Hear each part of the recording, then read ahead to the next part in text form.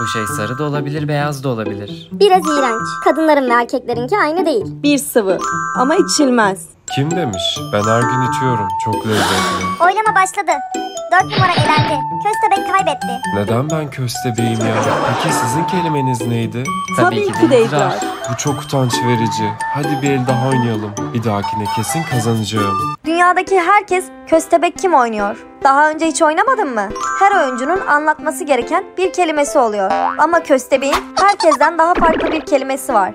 Kazanmak için köstebeğin kim olduğunu bulman gerek. Eğer oyun bitene kadar köstebeğin kim olduğunu bulamazsan köstebekler kazanır. Hadi bir el daha oynayalım.